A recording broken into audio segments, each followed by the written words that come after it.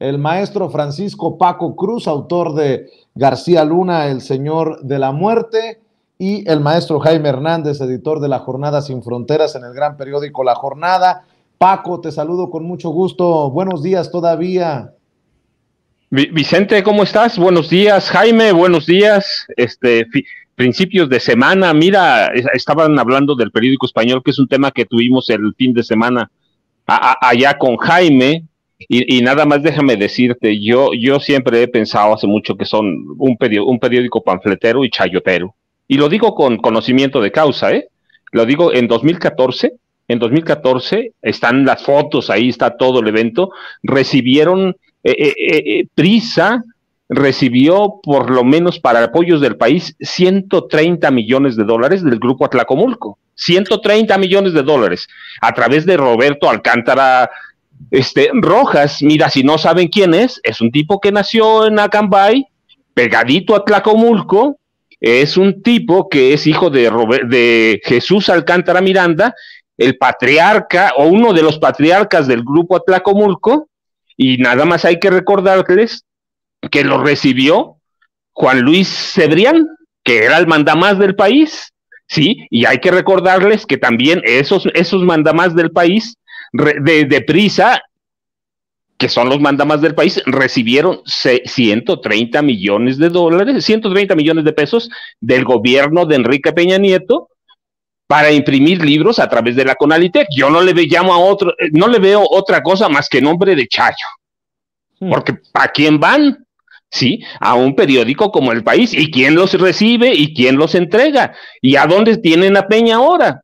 Sí, entonces para mí el periódico El País hace mucho es un periódico en ocasiones muy panfletero y que oculta o que se oculta bajo la máscara de la democracia, pero mira, pues ya están ahí, están los documentos, están los datos, cuánto duró el amaciato del grupo Atlacomulco a través de Roberto Alcántara Rojas con el grupo, con, con el grupo Prisa, pues como siete años, no, no, espérame, menos, ocho diría Peña Nieto. ¿Sí?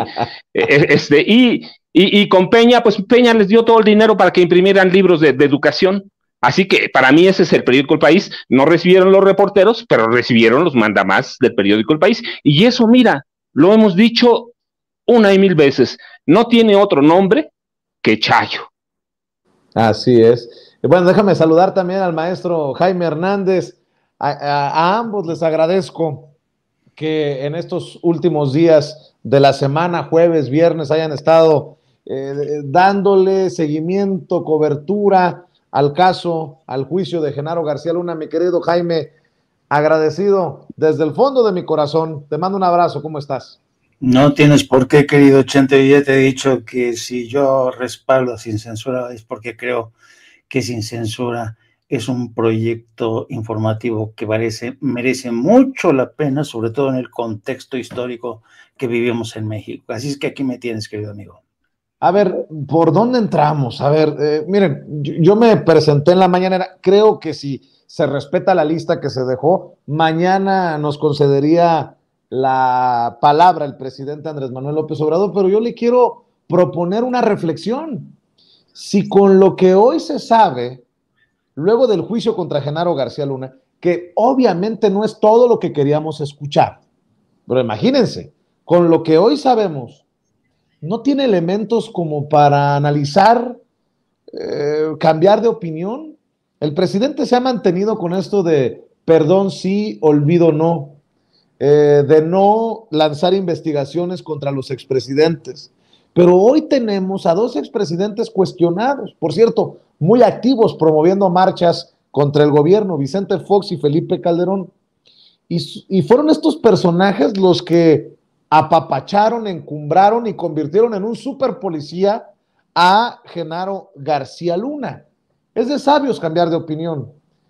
Eh, por lo menos necesitamos, y bien me decía don Mario Toledo, nuestro jefe de información, pues una comisión de la, de la verdad, eh, tener claridad, una comisión de la verdad que esclarezca delitos de delincuencia organizada y narcotráfico desde los pinos, desde lo más alto del poder político en nuestro país. Bueno, al menos en los eh, sexenios de Felipe Calderón y de Vicente Fox.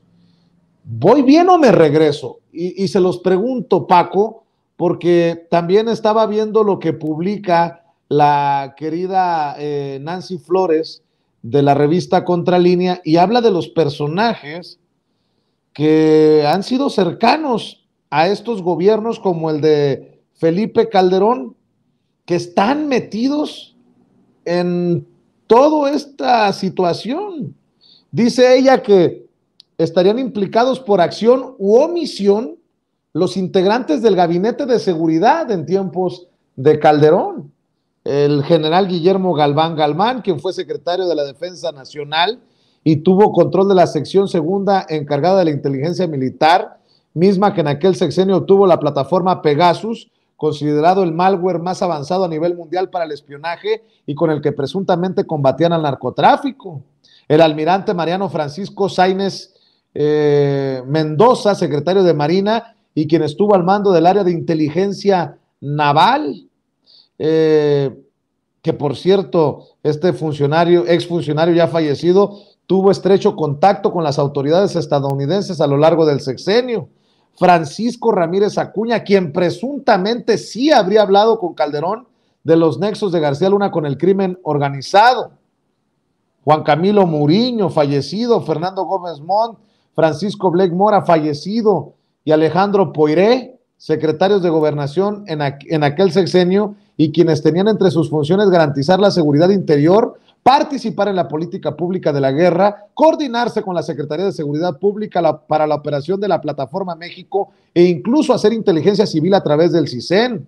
Eduardo Medina Mora, Marisela Morales y Arturo Chávez Chávez, quienes en aquel sexenio, en el de Calderón, se desempeñaron como procuradores generales de la República.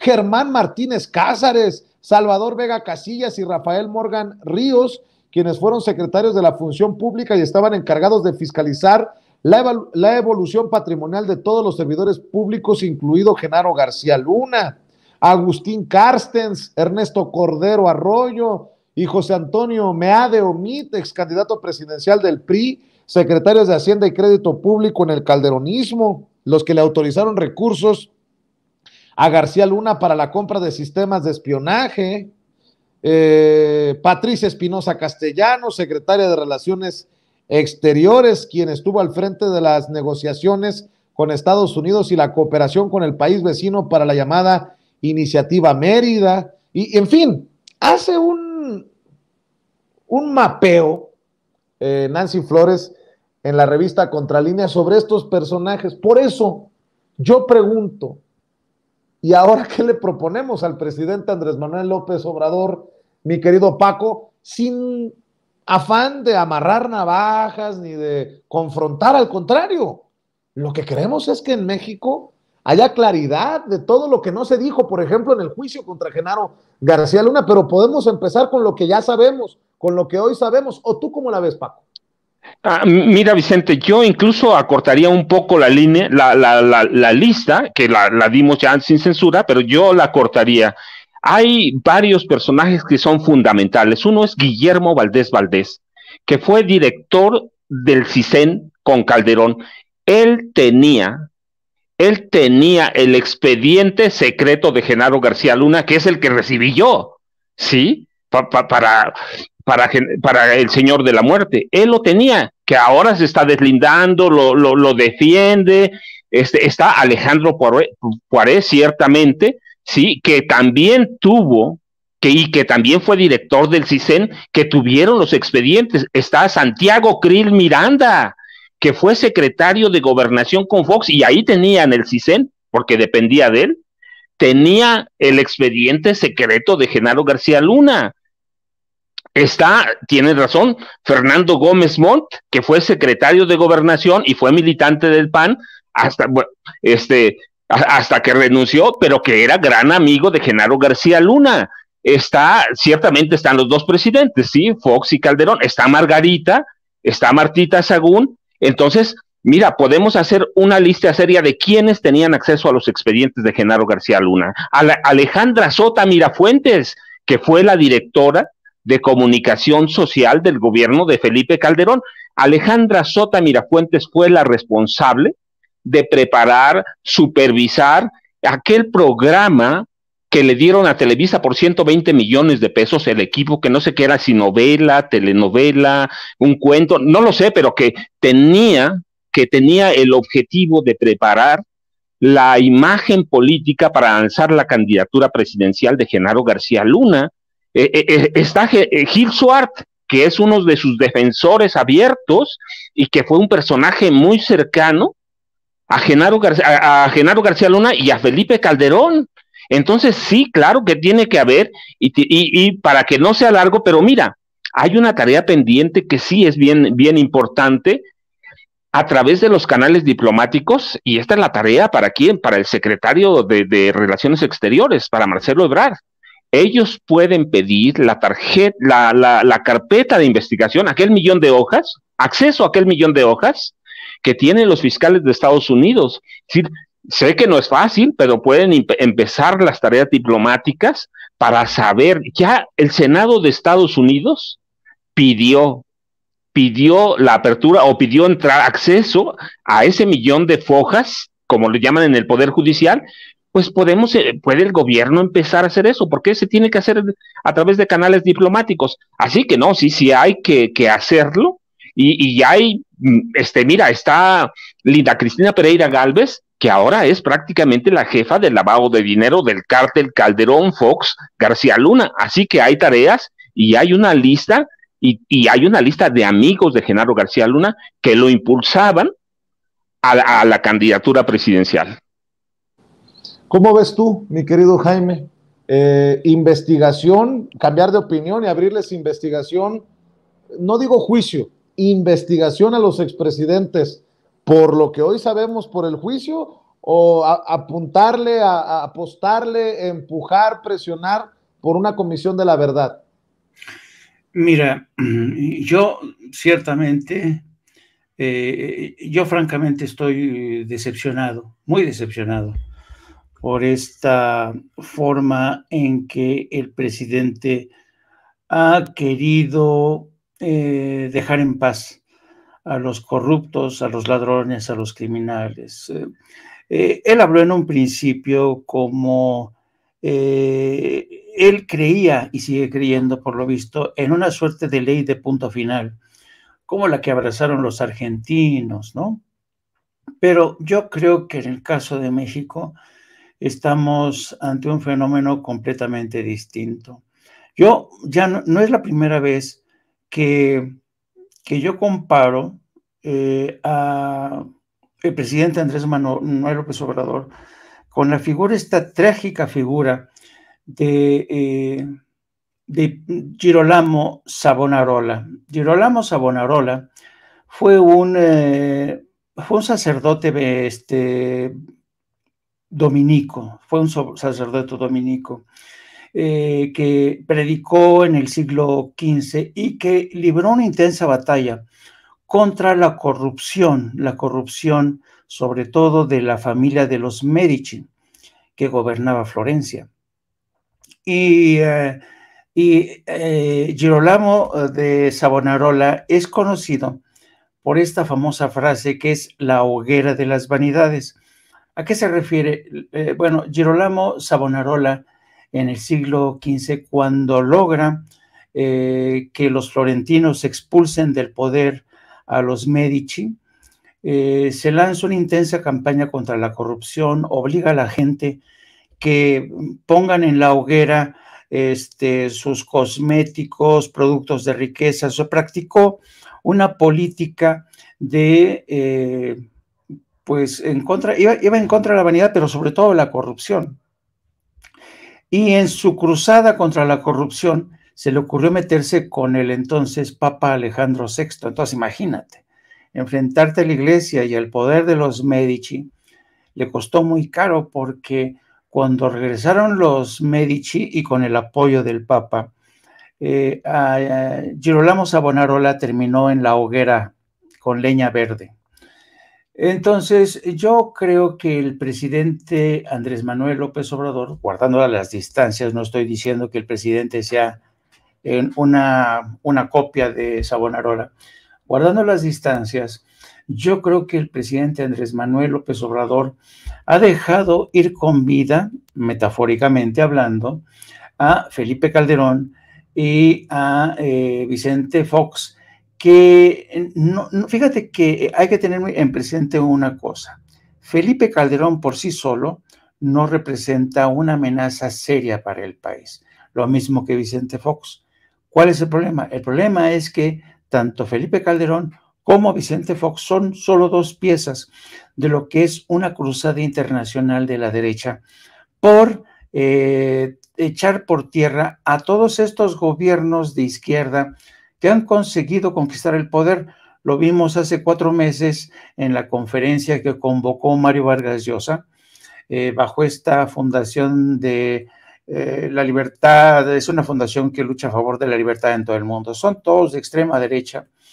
Y en esa conferencia, eh, Felipe Calderón habló de la amenaza que representaba López Obrador, habló que López Obrador estaba arruinando, echando a perder el país, dijo que nunca había habido tantas muertes y violencia bajo la, bajo la, bajo, bajo la presidencia de López Obrador, incluso menos que en mi presidencia. Eh, elogió la labor de Carlos Loret de Mola, a quien presentó como un perseguido político de Andrés Manuel López Obrador, y lo hizo en un foro donde encontró eco con personajes, estaba a su lado José María Aznar, y entonces esta gente no actúa por sí misma, eh, forma parte de unas organizaciones que realmente se han tomado muy en serio. Lanzarse contra gobiernos que han sido democráticamente electos, ahí está el caso del Perú. Entonces yo creo que el presidente Andrés Manuel López Obrador les ha puesto, la verdad, muy fácil el retorno a la vida política a personajes como Vicente Fox o Felipe Calderón. Yo creo que no se trata aquí de incitar a la violencia, a crucificar eh, a Vicente Fox o a Felipe Calderón, no. Simple y sencillamente, yo sí creo que es hora, ya es tiempo de que estos dos personajes que están, siguen conspirando en contra de Andrés Manuel López Obrador y contra todos los ciudadanos que creen que ya llegó el tiempo de que se le dé una oportunidad a la izquierda o al centro izquierda, ya es tiempo de que esta gente deje de tocar los huevos, así literal. Y yo creo que esta gente merece que sean llamados a rendir cuentas, porque se han servido hasta la fecha de organizaciones afines que lo siguen legitimando, de columnistas, periodistas que lo siguen presentando como los mejores políticos que han, ha tenido México. Así es que yo eh, sospecho que comparto, esto no lo hemos hablado tú y yo, Vicente, pero yo sospecho que tú y yo compartimos eh, la frustración de muchos mexicanos que consideramos que estos personajes no entienden lo que es la democracia y no la entienden porque no han entendido que si el presidente de México no ha, no ha querido perseguirlos o convertidos en perseguidos políticos, es porque el presidente de México desea que ahora sí se produzca una transición pacífica a la democracia. Pero esta gente insiste una y otra vez, una y otra vez a lanzar este tipo de embestidas, que son embestidas que lo preocupante para mí son que cuentan con la bendición de congresistas de Estados Unidos. Me refiero al caso de Bob Menéndez, que es el presidente del Comité de Relaciones Exteriores en el Senado, y de Michael McCall, el presidente de Relaciones Exteriores de la Cámara de Representantes. Un, breve paréntesis. Michael McCall, el actual el republicano, el actual presidente del Comité de Relaciones Exteriores, fue quien junto con eh, Henry Cuellar, demócrata por Texas, Michael McCall también es por Texas, impulsaron el, tema de la reforma eh, energética. Michael McCall y mm, eh, Henry Cuellar allanaron el camino de Enrique Peña Nieto en la Cámara de Representantes y le facilitaron el respaldo desde el Congreso, desde la Cámara Baja, para que Enrique Peña Nieto gozara del respaldo del Congreso de demócratas y republicanos, no hay que olvidar que Henry Cuellar, antes incluso de que fueran las elecciones en México, fue el primero que le alzó la mano a Enrique Peña Nieto en el Congreso de Estados Unidos, en la Cámara de Representantes. Y otro elemento, Bob Menéndez. Bob Menéndez, ¿quién es? Pues es un personaje que desde siempre le ha declarado la guerra a México porque México no apoya el bloqueo contra Cuba. Eh, Bob Menéndez se ha convertido en uno de los principales adversarios de México y en este caso del gobierno de Andrés Manuel López Obrador. Así es que fíjate, tienes a dos congresistas de Estados Unidos, tienes organizaciones que tienen el respaldo del Departamento de USAID, eh, del Departamento de Asistencia, presupuesto de Estados Unidos. Tienes organizaciones como las que respalda o representa Mario Vargas Llosa, que reúnen a un montón de gentes que eh, quieren terminar con estos experimentos de, las victorias de la izquierda en América Latina. Entonces, ¿qué quieres que te diga? Ante este eh, continua embestida, la verdad es que yo me siento muy frustrado porque veo que los enemigos le han crecido como enanos al presidente y este y no me preocupa, fíjate, no me preocupa la marcha de ayer. Porque yo considero que la marcha de ayer fue sobre todo un espejismo. La marcha de, ayer para mí es un espejismo. ¿Y por qué digo? No es que quiera yo faltarle al respeto a los que por convencimiento legítimo decidieron ir al Zócalo. No, no, no. ¿Por qué considero que esto es un, un espejismo?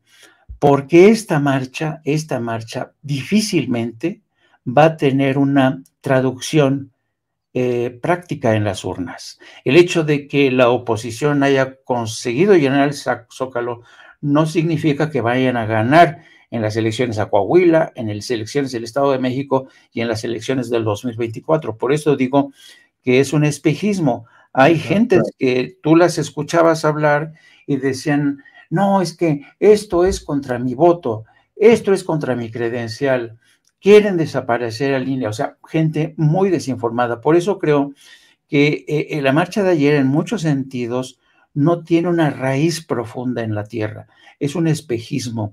Y como se suele decir, el que muere o cae víctima de un espejismo merece un buen funeral. Eh, ahora, ¿cómo entendemos las declaraciones de Pablo Gómez? Estaba leyendo este artículo de, Milenio, mi querido Paco, mi querido Jaime, y, la verdad es difícil de, digerir, que nada más han encontrado, dice eh, Pablo Gómez, una cuenta de 21 mil pesos en México ni propiedades, lujos o dinero.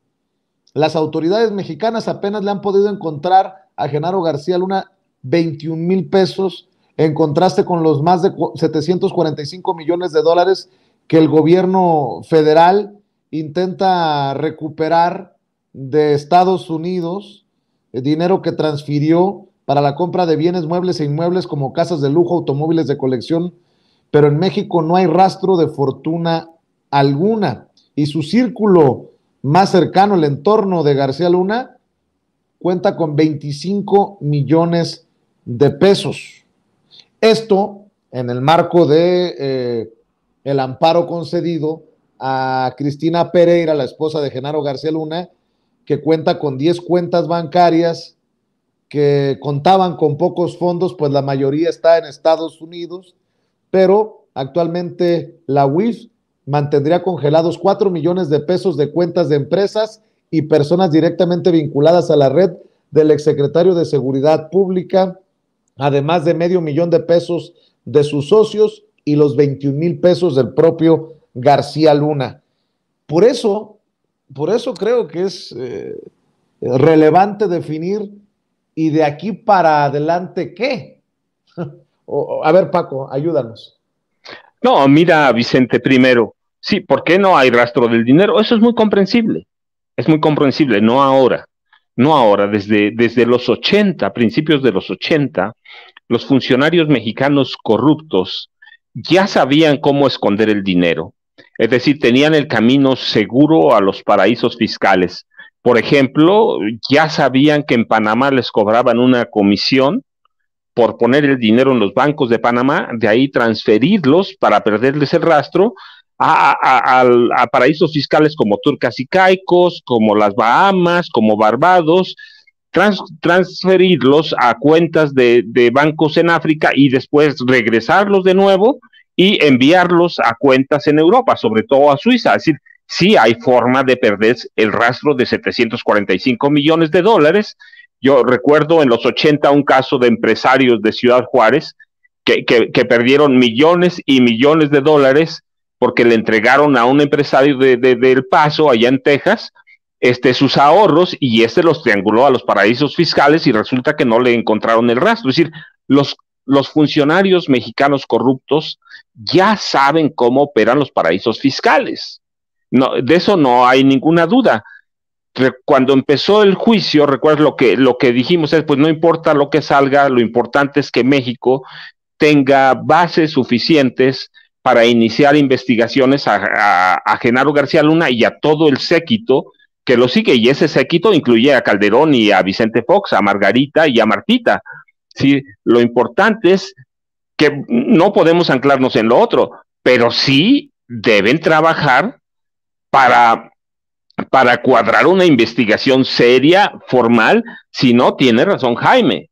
Sí, mañana o pasado, estos personajes que hay que decirlo, no actúan solos, son grupos nacionales y grupos internacionales de la, derecha que han vivido conspirando desde el primer día que ganó el presidente López Obrador, pues mañana van a tener herramientas conjuntas con los empresarios de aquí que apoyan ese grupo de la extrema derecha para dar un golpe blando, no, no, no, no al presidente, a López Obrador, porque prácticamente él ya termina y va a terminar bien, pero sí al que sigue, es decir, les va a dejar eh, la mesa puesta para conspirar, pero para conspirar con éxito, no, yo creo que sí debe haber, el, dinero no debe preocuparnos, deben trabajar más todavía, sí, ciertamente, pero te digo, es, eh, la, cuestión es que los funcionarios mexicanos lo conocen, cómo, funciona, eh, cómo funcionan los, los, mecanismos bancarios internacionales para, para esconder dinero, para esconder propiedades, para, para triangularlas y ponerlas a nombres de terceros.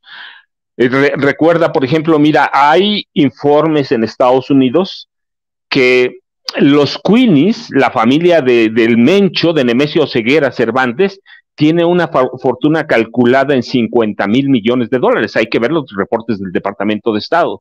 50 mil y no los pueden encontrar, 50 mil millones. Se supone que es el cártel más rico, que, que, es parte del cártel Jalisco Nueva Generación. Sí, hay mecanismos para esconder el dinero, incluso en parte de Estados Unidos, aunque finalmente, como ellos son los dueños del sistema bancario, terminan encontrándolo y quedándose con él.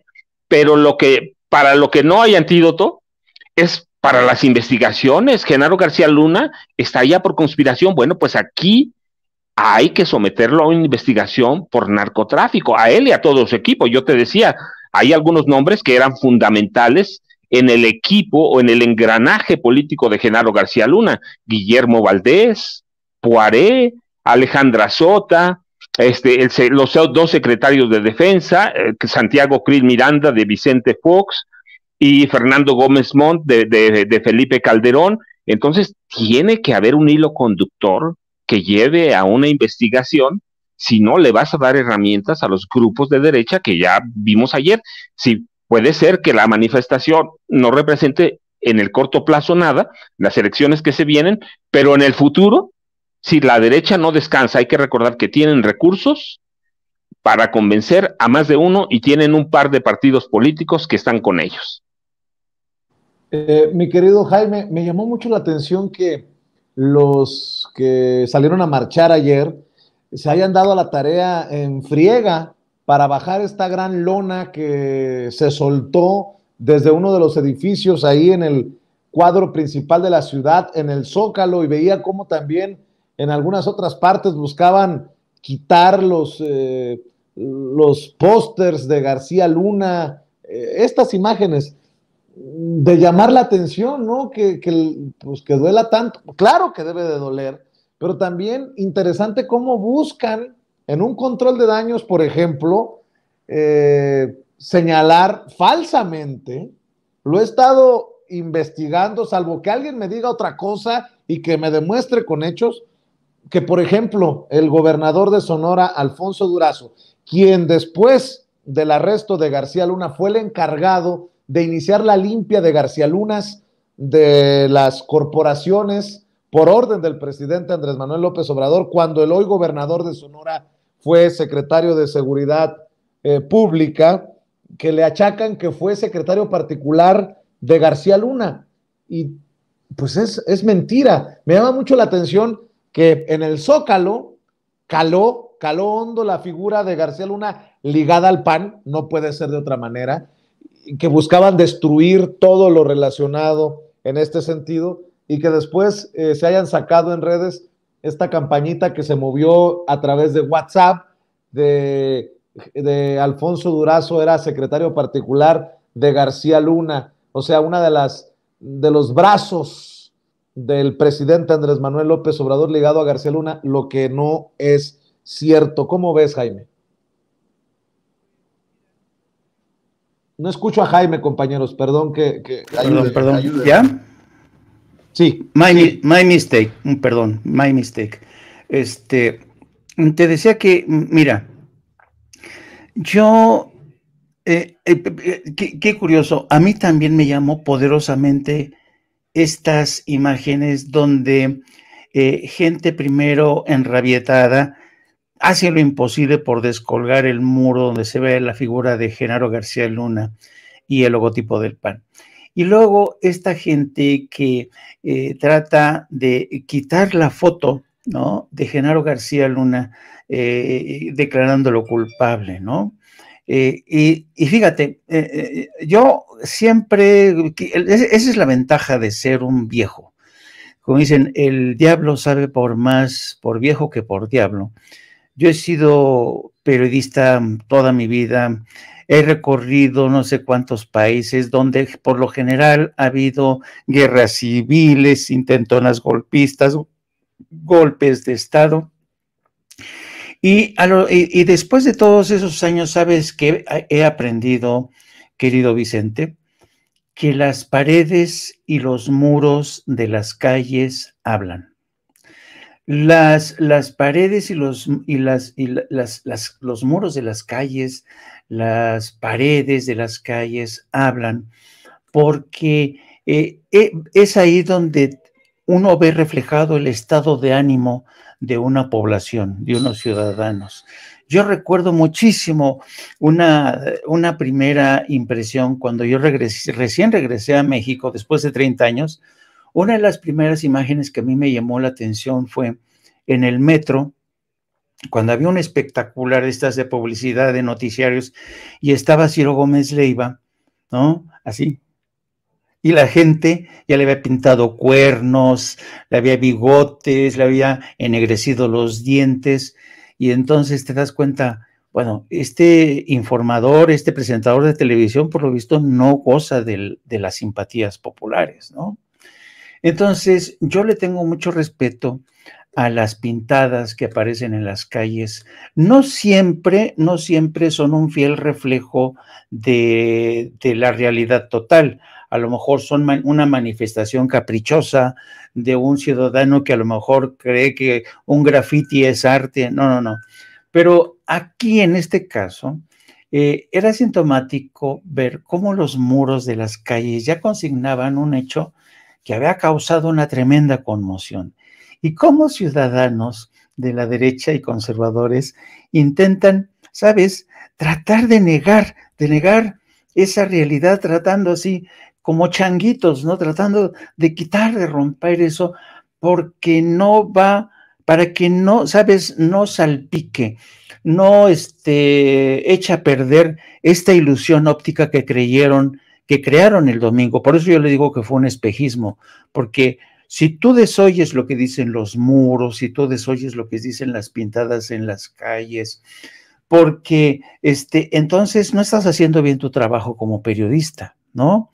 Y entonces también te estás dando cuenta que mucha gente que está cayendo y que cayó víctima de la propaganda, porque ha sido un bombardeo continuo Yo estuve yendo, ayer haciendo un ejercicio de zapping en los medios corporativos y es increíble, por ejemplo, Televisa, no parecían presentadores de televisión, ni la gente que estaba in situ parecían reporteros, todos parecían porristas. Sí, aquí está llegando la gente y la gente está muy convencida de que tiene que defender al INE y te quedas, ¿what?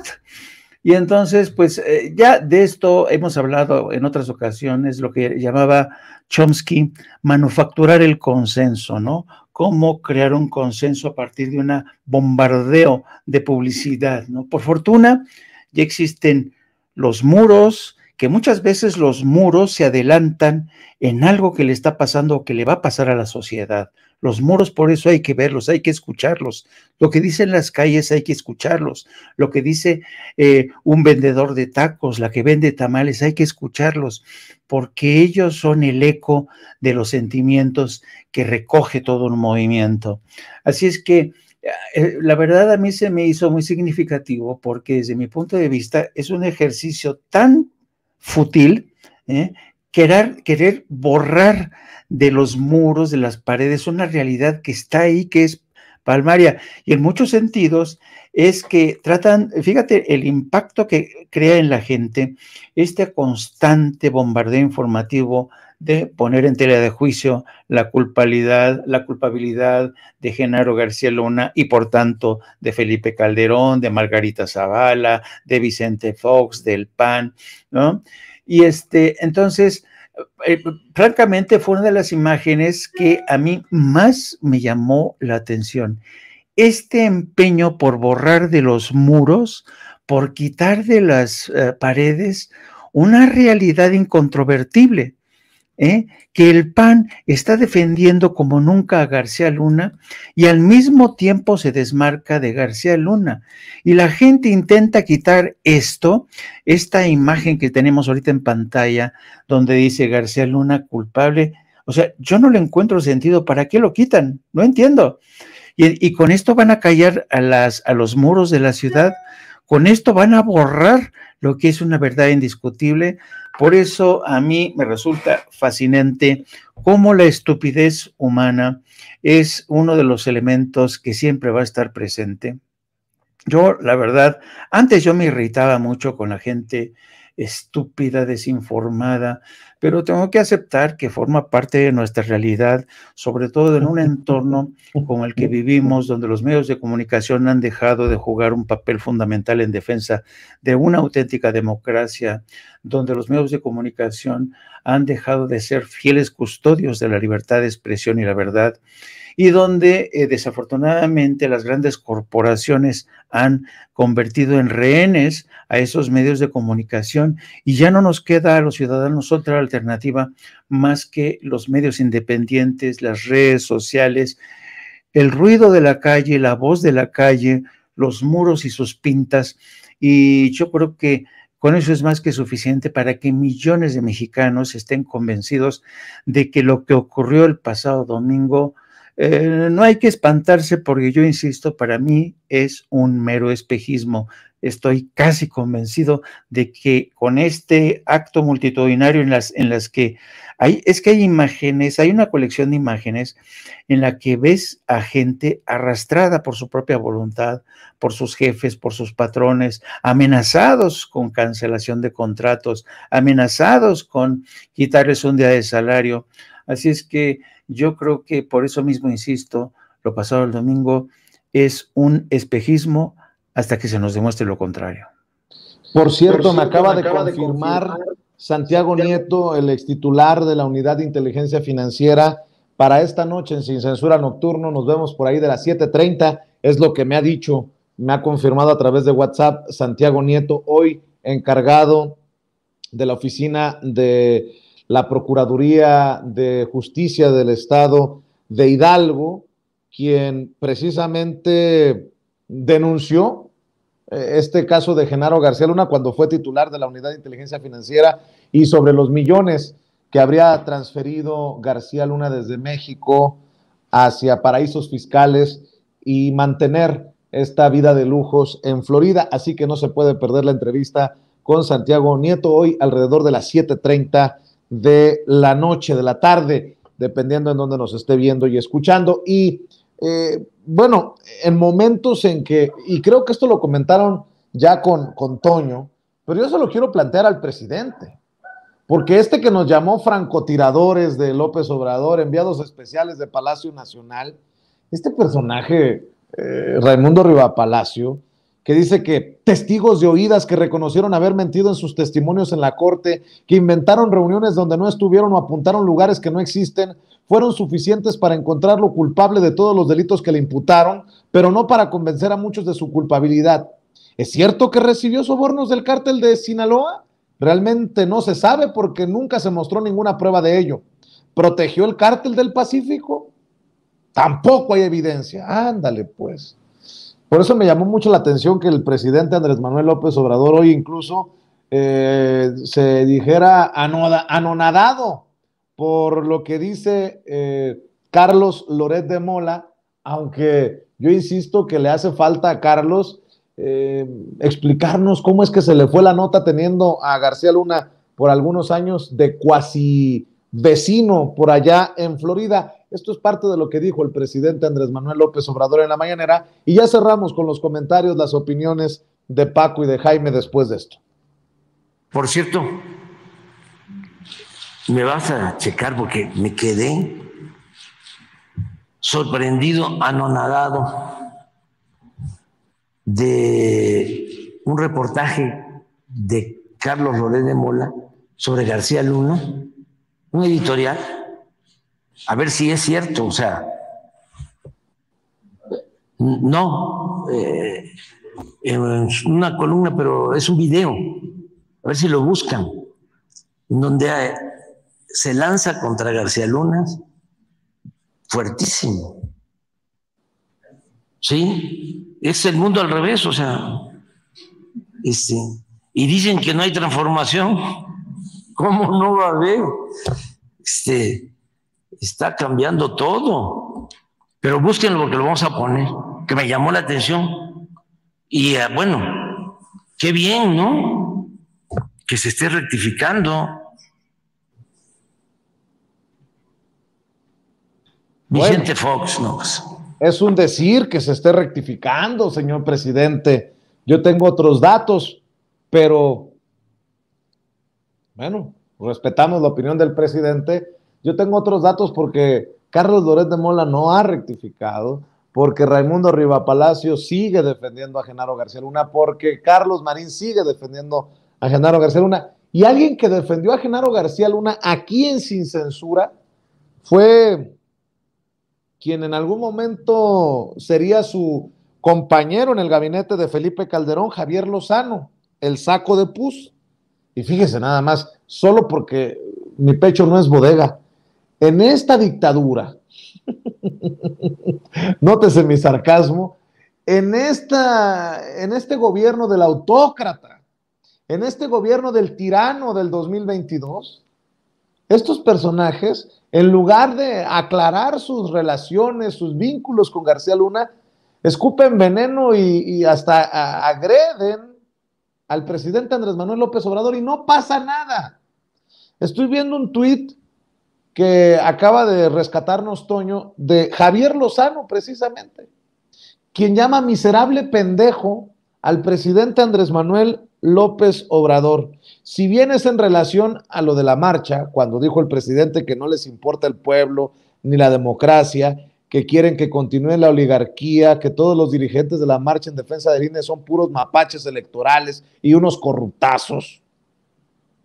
Javier Lozano retuitea esto de MBS Noticias y llama miserable pendejo al presidente Andrés Manuel López Obrador. Y yo le voy a decir lo que le va a pasar a Javier Lozano. Nada. Como no le pasó cuando defendió a García Luna. Pero bueno, eh, para cerrar tus comentarios, tus reflexiones, tus opiniones, mi querido Paco. Ah, Vicente, mira, bueno, es ah, claro que lo van a defender siempre. No, no, no ahora, lo, o lo van a defender o lo van a negar. Sí, Genaro García Luna tiene sus carpetas de investigación, siempre lo he dicho, Eh, ya quiero ver al primero que verdaderamente, verdaderamente denoste contra Genaro García Luna, este, y que cualquiera de los personajes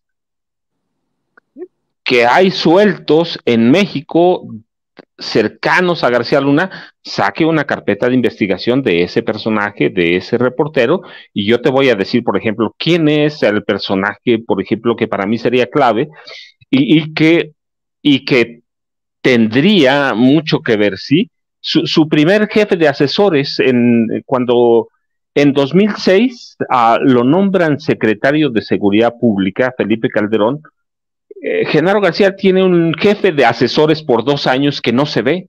Nadie sabe quién es. Este, pero que es clave para mantener el orden en ese equipo. Se llama, y bueno, voy a decir cómo se llama, pero Claudia, eh, eh, voy a decir su nombre como lo dice ella. Claudia Ruiz Macié, pero lo termino yo. Claudia Ruiz Macié Salinas, sobrina del expresidente Carlos Salinas de Gortari ella es fundamental, ella fue la primera jefa de asesores por recomendación de, Car de su tío Carlos, ella no era nada, nada, andaba por Europa, lo sé, me consta, andaba por Europa como Claudia Ruiz Salinas. Todavía, cuando en 2006 Carlos Salinas de Gortari la inserta como jefa de asesores de Genaro García Luna. Entonces, bueno, yo quiero ver al guapo de aquello, todo ese equipo que recibió beneficios, apoyos, lo que sea de Genaro García Luna, quiero ver que se atreva a hablar. No va a hablar, nadie va a decir nada, el mismo Genaro ha guardado silencio, entonces quiero verlos, así que no, no, este, ninguno va a hablar, este, Vicente, Jaime, nadie va a hablar, lo van a guardar, tienen haces bajo la manga y por eso sí urge, de veras, yo sí creo que urge una, una investigación seria, formal, contra algunos de estos personajes que incluyen a los dos expresidentes, Vicente Fox, a Genaro García Luna, eh, Felipe Calderón Hinojosa, y la relación que ellos ah, tuvieron con Genaro. No se puede, en este caso, aducir a la cadena de mando. Mira, muchas veces uno lo, que hacían personajes como Genaro, es decir, se rompió la cadena de mando porque el soldado no, no, no obedeció al teniente, el teniente no obedeció al capitán, y ahí se quedaba. Aquí no hay nadie más para arriba. El general cinco estrellas era el presidente de la República y todos los demás eran cuatro estrellas o tres. Y Genaro era cuatro estrellas, así que tiene el acceso directo a los, directo a los expresidentes. No, no, no, no puede romperse la cadena de mando. Son los expresidentes, es él, y son los titulares de gobernación que lo protegieron, lo cuidaron y lo llevaron. Y son dos en concreto, ¿sí? A Santiago Krill Miranda, eh, Fernando Gómez Montt, que hoy es famoso por su sobrina, Inés Gómez Montt, y, este, y los dos directores del CISEN, que conocían y debieron tener en sus manos los expedientes de Genaro García Luna. Si no lo conocían, pues digo, ¿en qué manos eh, eh, estaba la seguridad nacional de este país, Vicente? Así que nadie va a hablar. mi querido Jaime, ¿con qué cerrarías tú? Pues yo cierro con una reflexión que tiene que ver mucho con lo que el presidente se ha congratulado, lo hizo hace unos días en el caso de, lo, de quienes participan en el programa de Televisa Tercer Grado, eh, en la que dice el presidente, pues a mí me da gusto eh, que esta gente haya comenzado a cambiar de opinión, ya no es una defensa tan vehemente de García Luna, y también celebró el hecho de que Carlos Lore de Mola también se dejó sorprendido, dice, bueno, por lo menos ya no, ya no defiende, ya presenta a García Luna como lo que realmente es, eh, ha sido y sigue siendo. y, dice el presidente a propósito de una, una entrega en la que Lore de Mola insiste de forma torticera, engañosa, en que en el juicio de Nueva York se mencionó el, pago de 7 millones de dólares a Andrés Manuel López Obrador. Entonces, yo, francamente, este tipo de indulgencias, el presidente es muy indulgente a veces con algunos periodistas. Eh, yo lo entiendo, es político el presidente, y, eh, pero a veces no es bueno o no es sabio quedar bien con el, eh, ¿sabes?, con el diablo con Dios y con el diablo. Yo creo que, y además yo entiendo perfectamente que el presidente lo que ha dicho hoy, lo que pudo haber dicho en relación a los periodistas de tercer grado de Televisa, a lo mejor lo hizo eh, eh, eh, en una demostración habitual de su, de su más sutil sarcasmo. Pero el problema es que en México la gente a veces no entiende el sarcasmo, no entiende el sarcasmo y, y mucha gente piensa que después de todo el presidente se, congratula sinceramente de que estos periodistas o informadores hayan cambiado de punto de vista. A mí no me convence porque yo creo que estos periodistas, estos informadores, han formado de parte de un régimen corrupto del antiguo régimen. Y eh, yo he aprendido, como decía citar los viejos historiadores, hablando de los grandes revolucionarios, cuando decían, cuando citan a los grandes revolucionarios diciendo, hemos acabado con el antiguo régimen, dice, ahora falta por saber si ese antiguo régimen no acaba con nosotros.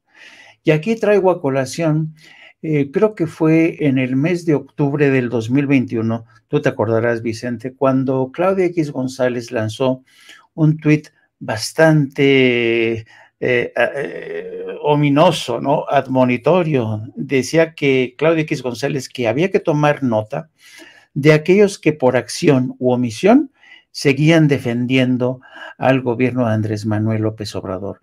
En otras palabras, era un aviso a navegantes eh, dirigido a todos aquellos, incluidos periodistas, este, organizaciones civiles, eh, políticos, partidos, iba a tomar Claudia X González, quien se ha convertido en el gran, en el orquestaman de toda esta movilización de la derecha, iba a tomar nota para ponernos a todos, ¿eh? a ti, a mí, a todos los que eh, de alguna manera respaldamos la 4I a Andrés Manuel nos iba a poner en una lista negra.